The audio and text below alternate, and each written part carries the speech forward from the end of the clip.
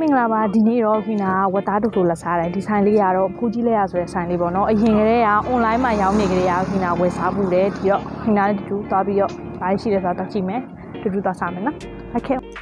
ဒီဆိုင်လေးကမော်လမြိုင်ကန်းနာလက်မှာနေ့လည်ခင်း2နာရီဆိုရင်စပြီးတော့ဖွင့်ပါပြီ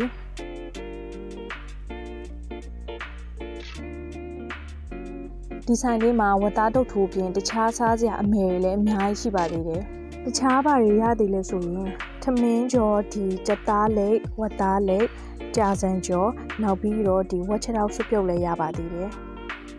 သူ့စီကဝက်သားတို့တွေဆိုလို့ရှိရင်နှီးရဘာညာမျိုးလည်းမရှိဘူးပေါ့နော်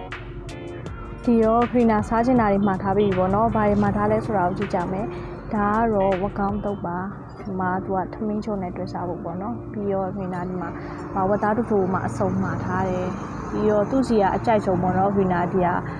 ဝက်စုပ်ပြုတ်ပေါ့နော်ချိန်ငံဆက်ရတာလေးလောက်ခိုင်းတာပါတယ်ဟိုမှာတော့ဝက်သားတစ်ခုစားပြီးဆိုရင်မဖြစ်မနေမပါမဖြစ်ပေါ့ကြာကြံကြော်လေးပါဒီမှာတော့စက်သားလေးလေးဖြစ်ပါတယ်ဒီတော့ဒီနာစားကြည့်မယ်အလုံးလဲစားကြပါဦး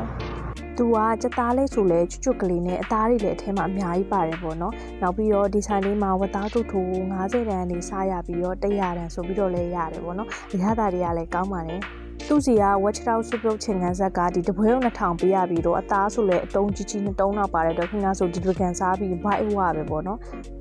ဒီဆိုင်လေးကဟီနာစားနေကြဆိုင်လေးလည်းဖြစ်တာရဲ့အရသာတွေကလည်းကောင်းတယ်နောက်ပြီးတော့ထမင်းချုံမှာဒီဝကောင်းသုံးနဲ့တွဲစားခြင်းလို့ဆိုင်ရှာနေတဲ့သူတွေအတွက်လည်းအသိရအောင်လို့ဟီနာကညှို့မေးသွားတာပဲဖြစ်ပါတယ်ဒီဆိုင်လေးကတော့ဖိုးကြီးလက်ရဆိုတဲ့ဆိုင်လေးပါနောက်ထပ် blog တွေကြလို့ရှိရင်လည်းခရီနာကဘယ်လိုဆိုင်လေးတွေ review ပေးအောင်မလဲဆိုတာကိုစောင့်ကြည့်ကြပါအောင်အားလုံးပဲတတား